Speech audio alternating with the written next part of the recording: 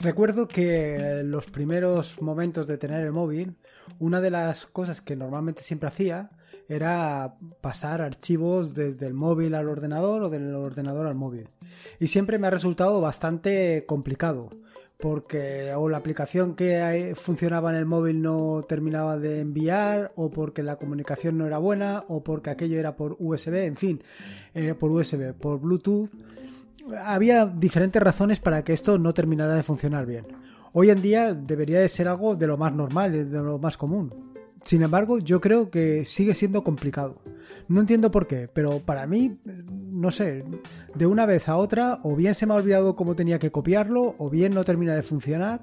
Así que al final, la mayoría de las veces lo que termino por hacer es copiar el archivo a Telegram y desde Telegram pues lo copio al ordenador.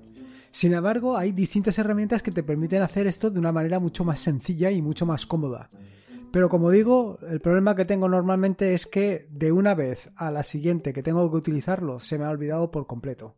Con lo cual, pues siempre que encuentro alguna aplicación que me resulta más o menos interesante para hacer este cometido, pues lo primero que hago es escribir un artículo en el blog o en este caso crear un nuevo episodio del podcast dedicado a esta aplicación, a la aplicación que te voy a comentar hoy. Una sencilla aplicación que lo que te permite es enviar eh, archivos del ordenador al móvil y del móvil al ordenador utilizando básicamente un código QR. Bueno, un código QR y por supuesto una red wifi a la que esté conectado tanto el ordenador como, em, como el móvil. Bueno, realmente a lo mejor una red wifi no hace falta, pero sí que estén ambos en la misma red local.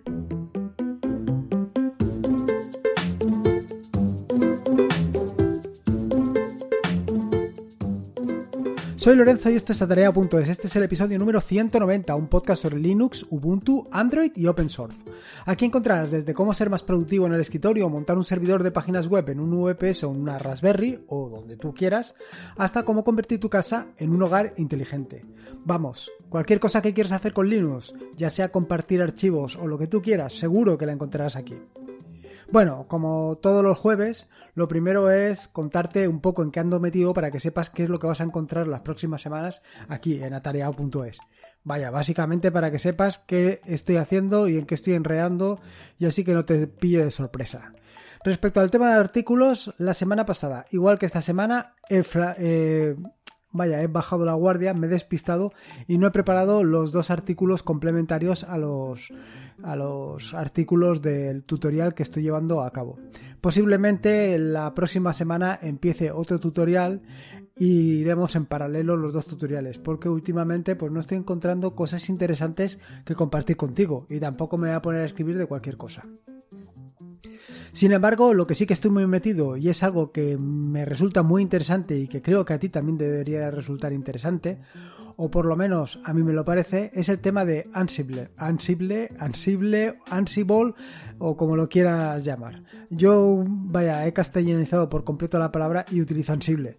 Pero bueno, en el trabajo es algo que puede ser desde Ansible, Ansible, Ansible, Ansible, puede ser cualquier cosa.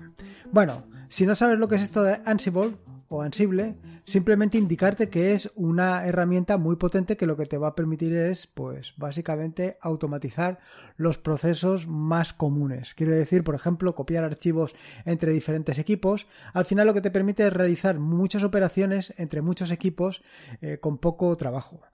Eh, ya vengo hablando sobre esto de Ansible durante los últimos episodios del podcast, pero quiero insistir un poco más en ello.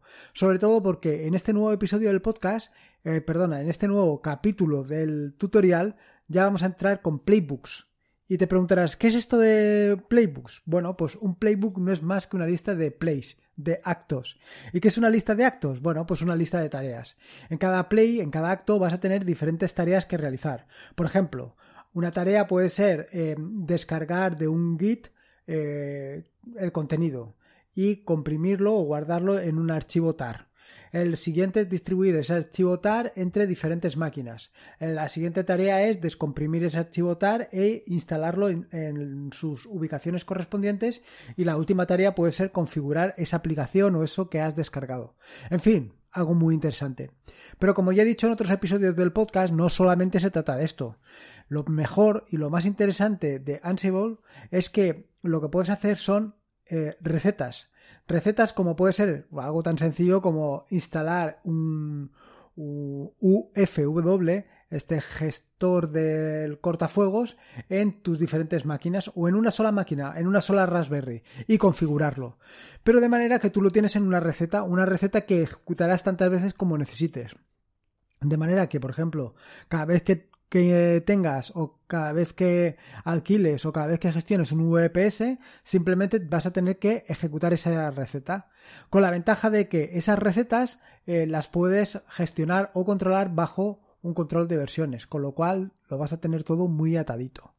En fin, esto es un poco lo que te quería contar de Ansible, de Ansible y lo que vas a encontrar el próximo viernes en el capítulo nuevo del tutorial. Básicamente, los playbooks.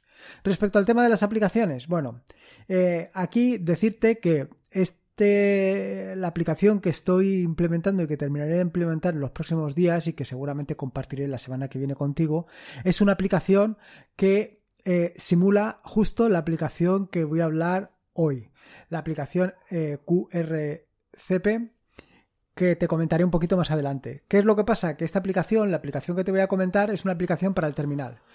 Y ya sea porque eres una persona recién llegada a esto de, de, Ubuntu o de Linux, o simplemente porque eres una persona que no le interesa lo más mínimo el terminal, pues lo mejor sería tener una herramienta que te permitiera eh, hacer lo mismo, pero desde tu gestor de archivos, ya sea Nautilus, Nemo o Caja. En este sentido, pues lo que he hecho ha sido, o lo que estoy haciendo, terminando de hacer, es implementar esta herramienta para que funcione también y sin ningún problema desde eh, el navegador de archivos. Pero esto te lo comentaré un poquito más adelante. Así que una vez te he contado tanto lo que vas a encontrar en lo que se refiere a artículos como en lo que se refiere a aplicaciones, me meto directamente en el turrón, en el turrón de este nuevo episodio del podcast. Es decir, en hablarte sobre QRCP. ¿Qué es QRCP? Bueno, pues es una sencilla aplicación, una sencilla aplicación para el terminal que lo que te permite es compartir cualquier archivo mediante un código QR. En realidad lo que hace esta aplicación es levantar un servidor web. Un servidor web que lo que te va a servir es precisamente la aplicación que quieres compartir con el móvil. De manera que ejecutar la aplicación indicándole primero el archivo que quieres compartir, el archivo que quieres transferir a tu móvil y en esa simple operación lo que se genera es ese código QR. Ese código QR que se va a mostrar en, el, en el terminal. Tú con el móvil escaneas ese código QR y te llevará a la página desde la que descargar. Y ya está, así de sencillo, ya tendrás el archivo en tu móvil. Algo sencillo, sin preocupaciones, sin tener que calentarte la cabeza, nada, muy sencillote. La cuestión o el inconveniente principal de la aplicación, como te he dicho anteriormente, es que tienes que utilizar el terminal. Y si no estás habituado a ello, pues, pues es un inconveniente. Otro inconveniente que le he visto es eh, que funciona bajo HTTP. O sea, no utiliza un protocolo seguro, no utiliza HTTPS. Con lo cual, eh, si estás en una red pública, pues te vas a encontrar con la sorpresa de que cualquiera puede nifar el contenido de ese archivo. Y eso es un problema. Eso es lo que no me ha gustado. Hombre, siempre puedes recurrir a una VPN para hacer esta operación. Pero bueno, yo creo que esto es un poco matar moscas a cañonazos. ¿Cómo instalar la aplicación? Bueno, instalar la aplicación es realmente sencillo. Simplemente te tienes que bajar el paquete DEP o el paquete RPM correspondiente a tu arquitectura desde la página de la web, desde la página de la aplicación, perdón, y una vez descargado, pues con un sudo dpkg-i lo instalas y a funcionar.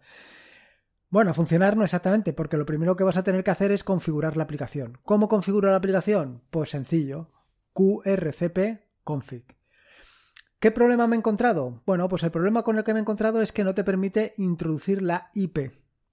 No te, no te permite introducir la IP. Y este es un problema. Es un problema porque, porque si lo que vas a hacer es compartir el archivo en una red, pues eh, no puedes compartirlo utilizando el localhost, como FQDN como en la dirección a la que descargar, porque claro, vas a hacer un localhost directamente a tu móvil, con lo cual no vas a descargarte absolutamente nada. Entonces, ¿qué es lo que tienes que hacer? Pues poner ahí directamente la IP. ¿Qué es lo que he hecho yo? Como no me deja introducir la IP cuando he establecido la configuración, lo que hice fue simplemente poner localhost y luego editar el archivo de configuración. El archivo de configuración se encuentra directamente en tu home bajo el archivo .qrcp.json. Ahí eh, cambias el FQDN por tu dirección IP y ya lo tienes solucionado. A funcionar. Una vez eh, hecha estos cambios y solucionada la configuración, simplemente eh, para compartir un archivo lo único que tienes que hacer es QRCP y el nombre del archivo. Entonces te aparecerá directamente un código QR. Con el móvil escaneas ese código QR y se descargará la aplicación del archivo a tu móvil. Porque lo que va a hacer es ir directamente al servidor eh, ese que acabas de levantar y lo descargas. Inconvenientes, como te digo, el primero inconveniente, el terminal, el segundo inconveniente, que no vas a utilizar un protocolo seguro, y el tercer inconveniente que tienes es que eh, en principio solamente puedes descargar un archivo. Son pequeños inconvenientes que voy a intentar resolver un poco más adelante. Eh, otra cuestión también interesante que puedes configurar es, por un lado, eh, utilizar un puerto aleatorio, un puerto aleatorio desde el cual hacer la descarga, de manera que vas a complicar un poquito, aunque sea aquel que esté snifando todas eh, las comunicaciones que se realizan entre tu ordenador y tu móvil. Y luego otra cuestión que también puedes hacer es permitir que eh, el funcionamiento de la descarga se mantenga. Quiero decir, ¿cómo funciona normalmente? Pues tú normalmente escaneas el código QR y desde el móvil, o sea, perdón, ejecutas la aplicación, aparece el código QR, lo escaneas con el móvil y una vez escaneado y descargada la aplicación en tu ordenador, en tu móvil, perdón, eh, se cierra la aplicación, de manera que no puedes descargar otra, otra vez. Sin embargo, puedes dar la opción de que esto se mantenga en el tiempo, es decir, que aunque lo descargues una vez, lo puedas descargar otra vez. ¿Cuál es la cosa interesante de esto? Pues la cosa interesante de esto es que simplemente lo que vas a poder hacer es descargarlo en varios móviles. Eh, lo puedes descargar en uno, luego puedes escanearlo en otro y, y descargarlo en otro y así sucesivamente. También tiene sus ventajas. En fin, como ves, son diferentes ventajas y algunos inconvenientes. Entonces, que bueno, y por otro lado, otra de las opciones que tiene esta aplicación es la de permitirte subir archivos al móvil. Perdona, al revés. Subir archivos a tu ordenador. ¿Cómo lo puedes hacer subir archivos a tu ordenador? Pues en lugar de utilizarlo para enviar archivos, lo utilizas para recibirlos. Y entonces lo que vas a ver es una página de carga.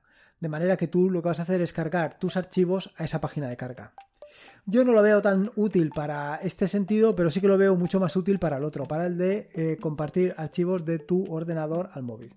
Pero bueno, que en fin, tienes ahí las dos opciones y las dos opciones son tan válidas una como la otra lo que veo, pues los inconvenientes que te, he ido comentando. Y para solucionarlo, bueno, pues como te he dicho anteriormente, mi idea es hacer una aplicación que lo que haga es tú selecciones cualquier archivo que tengas en el ordenador, utilizando para ello el gestor de archivos, ya sea Nautilus Nemo Caja, lo seleccionas, haces clic con el haces clic con el botón derecho del ratón de manera que se te va a desplegar el menú contextual y ahí seleccionas compartir archivo te aparecerá una ventana, en esa ventana aparecerá un código QR y desde ahí lo descargas. ¿Qué ventajas eh, tiene esta aplicación respecto a la que te acabo de comentar? Bueno, la primera ventaja que tiene es que puedes compartirlo utilizando protocolo seguro. Inconveniente, que va a ser un protocolo con un certificado autofirmado. Pero bueno, para el tema de compartirlo, teniendo en cuenta que lo vas a compartir directamente de ti a ti, de ti mismo a ti mismo, pues el problema es un poco menor. El segundo de las ventajas que tiene, la ventaja que tiene es que eh, puedes o bien seleccionar la opción de que una vez descargado se cierre la aplicación o la otra opción es que mientras la ventana esté abierta tú vas a estar descargando como si no hubiera un mañana y problema resuelto. Una vez cierre la ventana donde está el código QR se cierra la aplicación y se deja de compartir. Sencillo, ¿no? Yo creo que está interesante, yo creo que puede ser también una buena solución. No sé qué, qué opinas tú. Ya te digo, yo intentaré que la próxima semana esté disponible para poder compartirlo contigo. Probablemente el próximo jueves, ya veremos. A ver si me da tiempo a todo, porque últimamente eh, estoy un poco de trabajo hasta arriba y, y la cosa se me va complicando. Pero bueno, tampoco quiero hacerme aquí el víctima, que no se trata de eso. En fin, espero que te haya gustado el episodio de hoy. Si pruebas la aplicación, pues nada, coméntamelo y dime qué te ha parecido. Igualmente, comenta cualquier cosa. Para eso está la página de contactar de atarea.es y allí me dejas tu opinión, lo que tú consideres. Y por supuesto, recuerda que es importante el tema de compartir, eh, de compartir vaya, compartir eh, este, esta, vaya, este podcast. Y no solamente eso, sino también de dar tu valoración, tu opinión para que, pues para que lo conozcan otra gente, porque es la única manera de poder subir. Por otro lado, comentarte que este es un podcast de la red de podcast de sospechosos habituales, donde puedes encontrar fantásticos podcasts.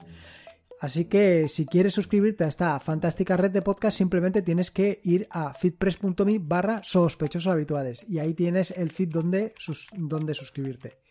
Y por último, y como te digo siempre, recordarte que la vida son dos días y uno ya ha pasado. Así que disfruta como si no hubiera mañana y si puede ser con Linux, mejor con mejor. Un saludo y nos escuchamos el próximo lunes.